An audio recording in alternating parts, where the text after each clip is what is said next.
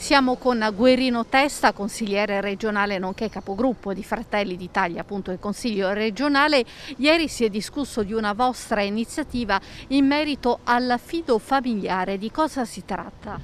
Il, innanzitutto voglio ringraziare l'intero Consiglio regionale che ha votato in maniera unanime la proposta del, di Fratelli d'Italia per istituire un'indagine conoscitiva sugli affidi nella regione Abruzzo.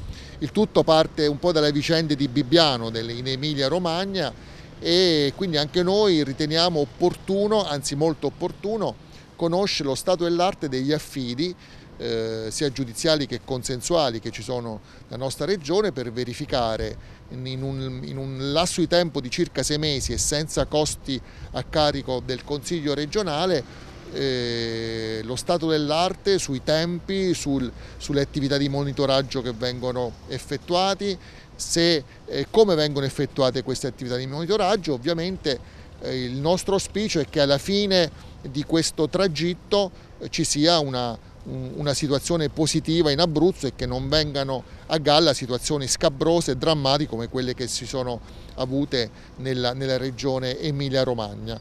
Noi riteniamo che alzare l'asticella del sociale su un tema così importante vada a, in qualche maniera a connotare positivamente una, uh, una regione, in questo caso la regione Abruzzo, su un dato così importante che parliamo della tutela dei minori.